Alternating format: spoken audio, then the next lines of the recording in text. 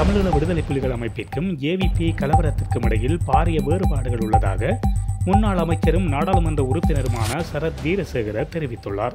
விடுதலை புலிகள் அமைப்பு என்பது சர்வதேச அங்கீகாரமற்ற ஆயுத போராட்ட குழு எனவும் அவர் சுட்டிக்காட்டியுள்ளார்.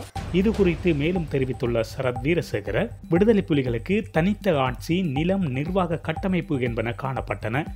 இலங்கை இராணுவத்தை எந்நேரமும் தாக்கக்கூடிய கடல் மற்றும் வான்வழி தாக்குதலை நடத்தக்கூடிய வளங்களும் அவர்களிடம் காணப்பட்டது. ஆகவே விடுதலை புலிகள் அமைப்பை சர்வதேச அங்கீகாரமற்ற ஆயுத போராட்ட குழு என்ற நிலையில் வைத்துக்கொண்டே அரசாங்கம் செயற்பட வேண்டும் என்றும் அவர் சுட்டிக்காட்டியுள்ளார். இதேவேளை யுத்தத்தை முடிவுக்கு கொண்டு வர தலைமை தாங்கிய அரசியல்வாதிகள் ராணுவ தளபதிகள் உள்ளிட்ட ராணுவ அதிகாரிகளுக்கு எதிராக ஒரு சில நாடுகள் பயணத்தடை விதித்துள்ளதாக சரத் வீரசேகர தெரிவித்துள்ளார். இது முற்றிலும் அநீதியானது என்று குறிப்பிட்ட அவர் புலம்பெயர் தமிழ் அமைப்புகளுக்காக ஒரு சில நாடுகள் ஐநா சபையின் சாசனத்தையும் அடிப்படை கொள்கைகளையும் மீறியுள்ளன என்றும் அவர் சுட்டிக்காட்டியுள்ளார்.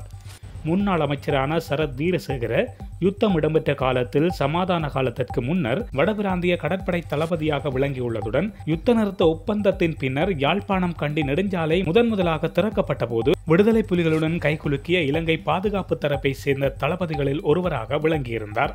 எவ்வாறாயினும் அவர் தமிழ் மக்களுக்கு எதிராக இனவாத கருத்துக்களை முன்வைத்து வருவதாக பலத்த குற்றச்சாட்டும் அவர் மீது சுமத்தப்பட்டுள்ளமை குறிப்பிடத்தக்கதாகும்.